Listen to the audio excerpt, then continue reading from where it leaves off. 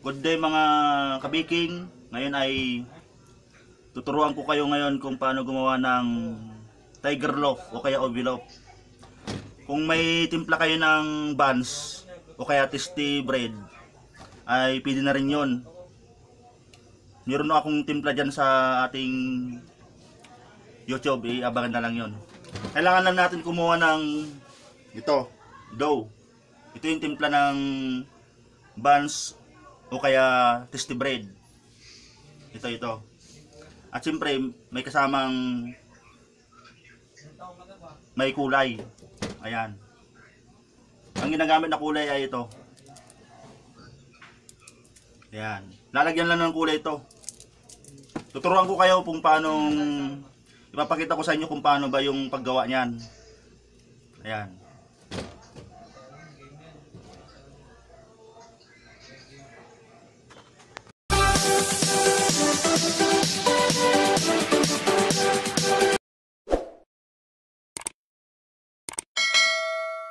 Kaya nga na sinabi ko ay kailangan natin ng timpla ng buns o kaya tasty bread.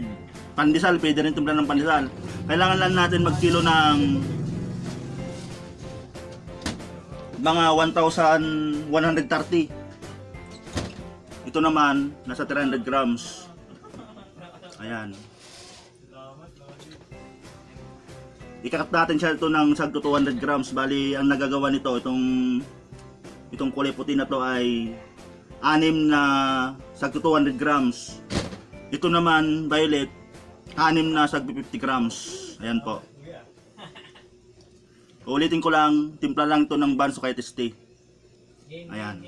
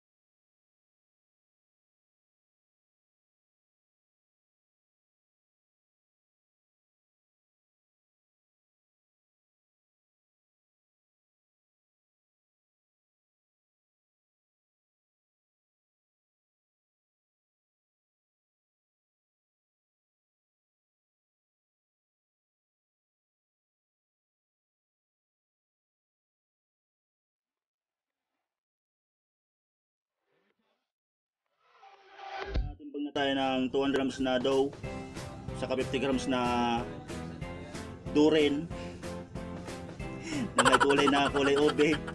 Papalaman lang natin siya. Yan. Papalaman lang natin to. Ganyan. Saka natin siya i-roll.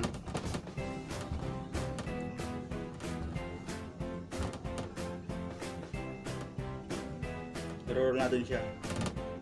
Ayan.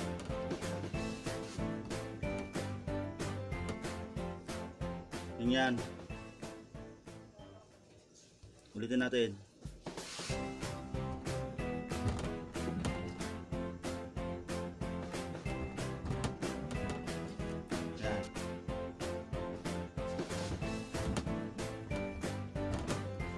Parang gumagawa din tayo ng test Yan.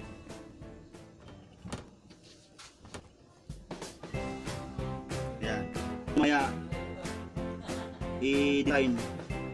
Saka natin lalagay dito. Ito natin siya ilalagay.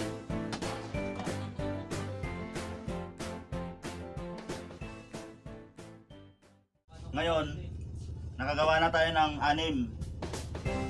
Ito. Paano, papakita ko sa inyo kung paano pag-design.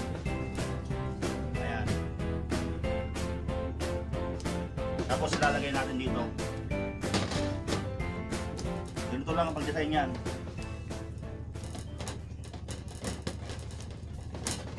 Kailangan natin ng kutsilyo, siyempre.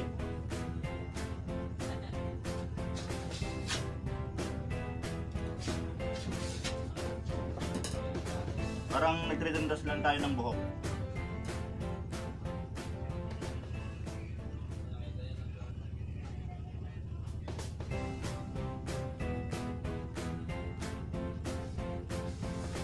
Ganito lang. Ito naman ay pwede ka naman gumamit ng mga palaman gaya ng ubi paste kung pwedeng pwedeng pwedeng ubi paste yung palaman natin. Ito kasi yung doon natin gaya ng pinakita natin kanina, lagyan na natin ng kulay yung dough. Galing ah. Ito yung may itsura niya.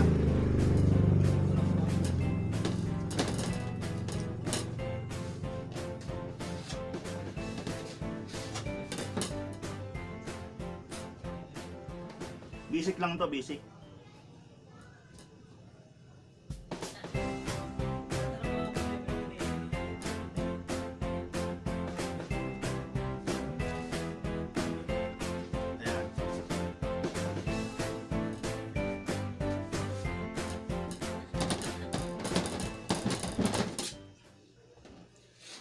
Dalawang guhit lang. Isa. Dalawa.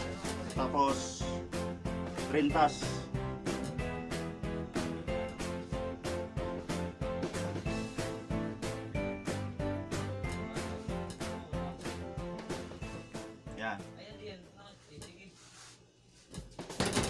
Maganda to kung medyo nakalsa na konti. Ito pala ay itong donut to ay may dinaan to sa makina. Kumbaga naka-ready na siya. Kaya kung napapansin niyo makinis na siya bago sa ginawa.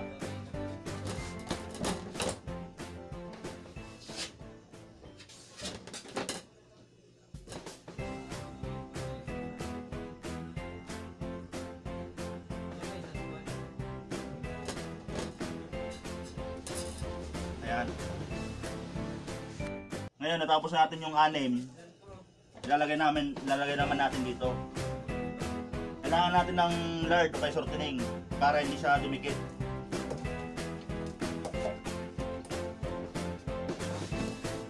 Para marami kayong idea, lahat ng ginagawang tinapay ay lalagyan talaga ng ganito para hindi siya dumikit.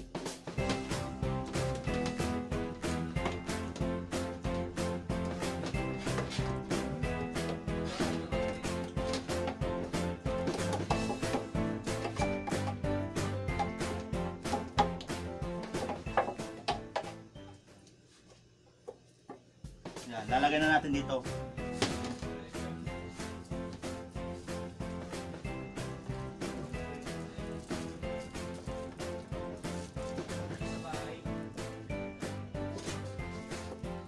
Ayan.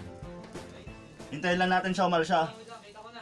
Pag umalsa na, pwede natin niluto mga siguro mga tatlong oras to bago maluto kasi medyo mababa lang yung para sa na nilagay namin dito. Sana eh, may natutunan kayo sa baking tutorial natin to at sana eh, suportahan pa rin natin ang panadero madiskarte.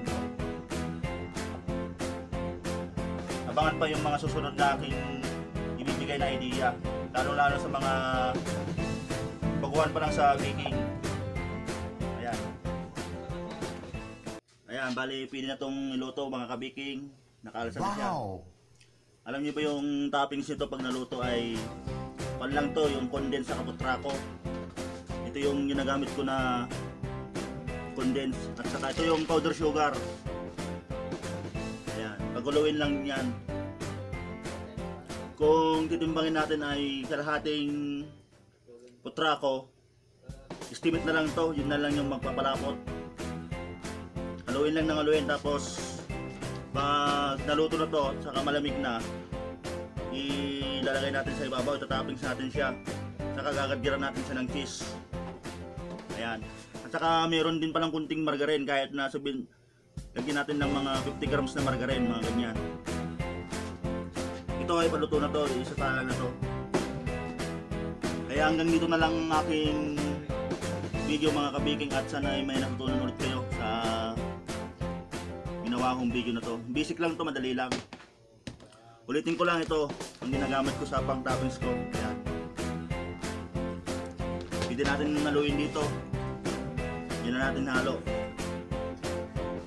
500 grams estimate saka 50 grams na margarine haluin lang saka natin ipapahid dito pagkalamig na to at pagkaluto yun lang at maraming salamat Thank you.